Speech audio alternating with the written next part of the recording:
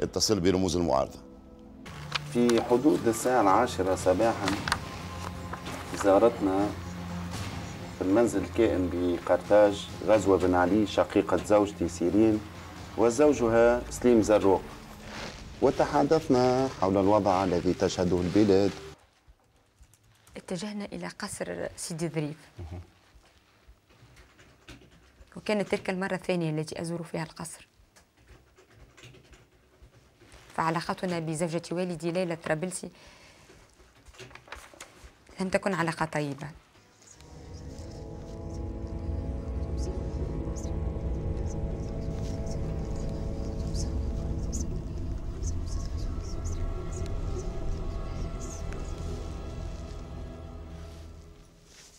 طايرة هليكوبتر فوق القصر؟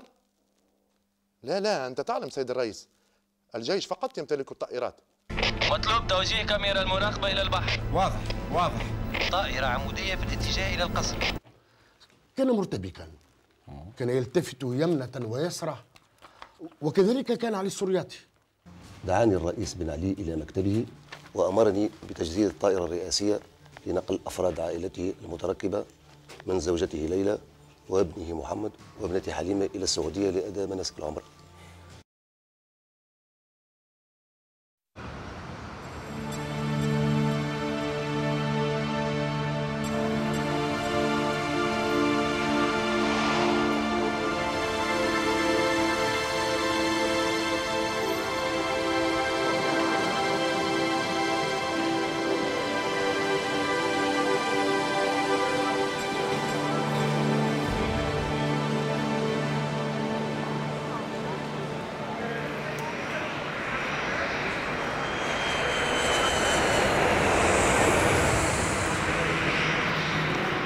سيد زهير بياتي نعم.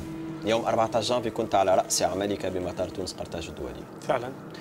اروي لنا تفاصيل ذلك اليوم وخاصة ماذا حدث في مطار تونس قرطاج الدولي.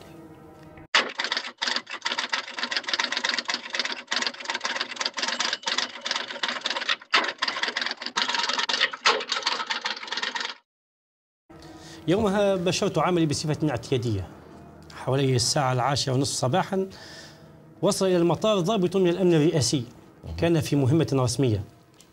رافقته خلالها إلى القاعة الشرفية بالمطار. نعم. حيث حطت طائرة ليبية نوع شالنجر كان يقودها طيار أمريكي ومعه ضابطين ليبيين. أحدهم سألنا عن علي السرياطي وأخبرنا بأن لديه صناديق يعتزم تسليم لديه؟ لديه. مجموعة من بالضبط لديه مجموعة من الصناديق يعتزم تسليمها لعلي السرياطي. ما كان محتوى هذه الصناديق بعد يعني علمت بعدها أن تلك الصناديق تحوي على كمية من قذائف الغاز المسيل للدموع جاءت بها آه، تلكم الطائرة إلى تونس. ثم في حدود الساعة منتصف النهار و15 دقيقة علمت بمغادره سهر الرئيس صخر الماطي على متن طائرة خاصة تابعة لبن الطرابلسي. الساعة الواحدة ظهرا آه، ورد لي علي اتصالا من علي السرياطي طلب مني توفير سبعة مقاعد لبعض أفراد عائلة طرابلسي يرغبون في مغادرة البلاد. كما طلب مني العمل على تأخير إقلاع الطائرة المتجهة إلى ليون حتى يتمكن المسافرون من الوصول إليها. وفعلا قمت بذلك بعدما تأكد لدي توفر الشغور بتلكم الطائرة. طائرة الخطوط التونسية. التي كانت متجهة إلى ليون والتي كانت ستقلع على الساعة الثانية والنصف ظهرا. في الأثناء أعلمني مساعدي بأن قائد الطائرة المدعو الكيلاني دخل في حالة من الهستيريا. قائد الطائرة التي نعم. المتجهة إلى ليون والمدعو الكيلاني. يعني دخل في حالة من الهستيريا رافضا الإقلاع بالطائرة وعلى متنها بعض أفراد من عائلة طرابلسي حوالي الساعة الثانية وخمسة وأربعين دقيقة ورد علي اتصال من قاعة العمليات الرئاسية. يخبرونني بأن آه، موكبا قد غادر المقر الرئاسي بسيد الظريف في اتجاه المطار. كان هذا الموكب يضم بعض أفراد عائلة الطرابلسي وفعلا وصل الموكب آه، إلى المطار حوالي الساعة الثالثة والعشرين دقيقة. نعم. كان يتكون من خمسة سيارات مرفوقين بأمن رئاسي. بعضهم كان مسلحا تسليحا خفيفا. مسدسات. وقد غادر آه، أفراد الأمن مباشرة حال وصول الموكب إلى المطار. وقالوا لي آه، تصرف جماعة تحت مسؤوليتك. غادروا المكان. غادروا المكان. وقد كان بعض من أفراد عائلة طرابلسيه ينون آه، التوجه نحو ميلانو في حين أن البعض الآخر كان يسأل عن موعد إقلاع الطائرة المتجهة إلى ليون. والتي آه، ادعى قائدها أنه قد اغمي عليه.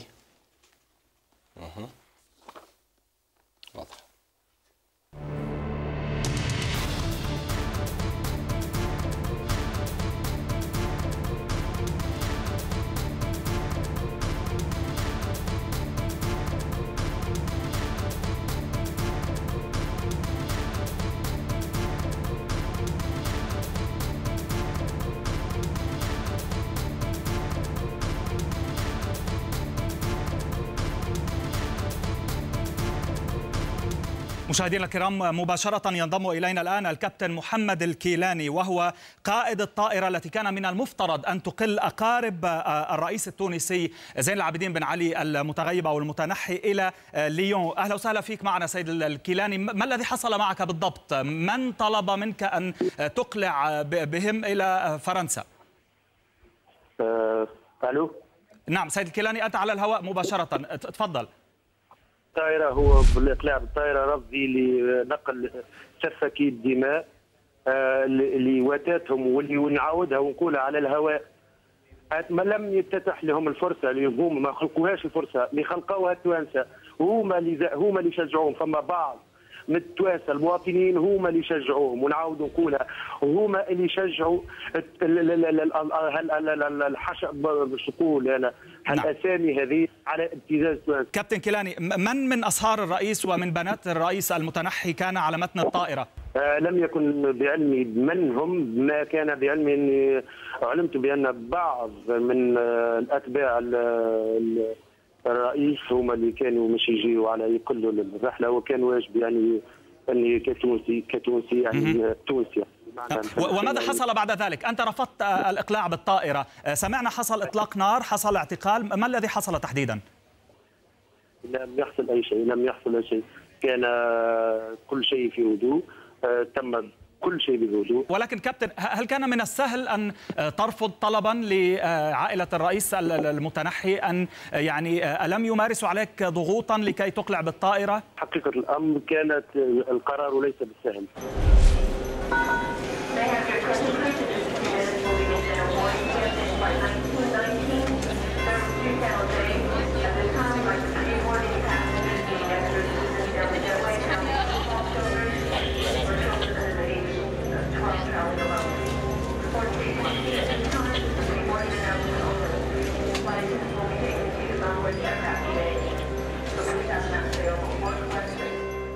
وصل إيه ومن معهم؟ مه. لا أوصيكم بسياسة ضبط النفس مفهوم؟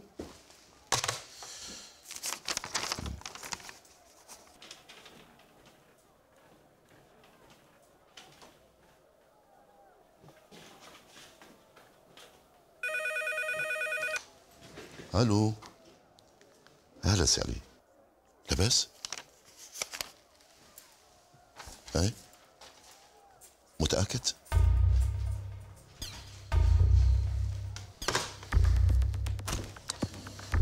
سي علي السرياتي وصلته معلومات تفيد بأن راشد الغنوشي يعتزم الوصول عبر مطار تونس قرطاج احترامات السيد الوزير تفضل. معلوم من قاعة العمليات تفيد أن المتظاهرون يعتزمون التوجه نحو المطار. تابع الموضوع.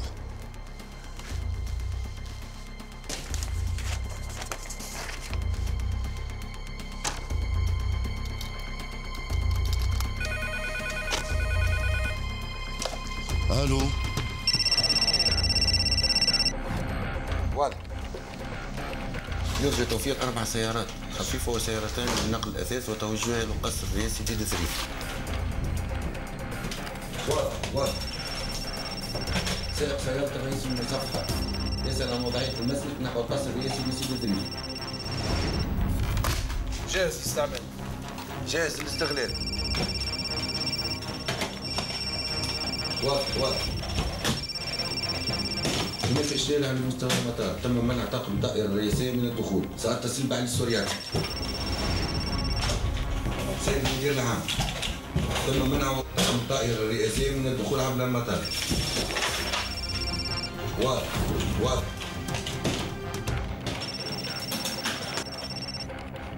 تعليمات السيد الرئيس المدير العام أن يدخل طاقم الطائرة عبر القاعة الشرفية الرئاسية.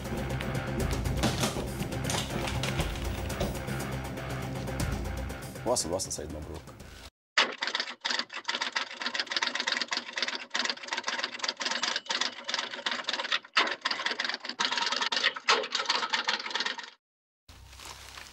في حدود منتصف النهار والنصف اتصلت بشقيقي محمد وطلبت منه إرسال أبنائنا وأمهاتهم إلى فرنسا على متن طائرتي الخاصة باعتبار الوضع الأمني.